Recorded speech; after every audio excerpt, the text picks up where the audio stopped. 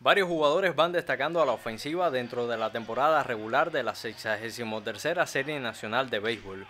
William Saavedra va haciendo noticia entre todos los participantes por su aporte al equipo de Pinar del Río. Mm, yo casi no me pude preparar como, como, como debía haberme preparado porque sufrí una linfagitis en, en la pierna izquierda que me alejó de la, de la preparación durante un mes pero nada, después me enfoqué en cuanto terminé la rehabilitación y todo, y me recuperé, me enfoqué en lo que es en la parte del bateo, porque lo otro, la parte física y, la, uno, uno la coge en el terreno de pelota.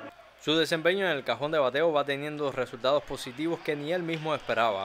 Uno siempre cuando empieza una preparación, siempre trazándose metas, pero de verdad yo no esperé estar así Esperé estar bien, pero no tan así como, como las cosas han estado saliendo hasta ahora. Junto a los de Pinar del Río, William Saavedra piensa dar aportes que influyan en la clasificación a la postemporada. En Camagüey, Roberto Carlos Serrano, Canal Cubano de Noticias.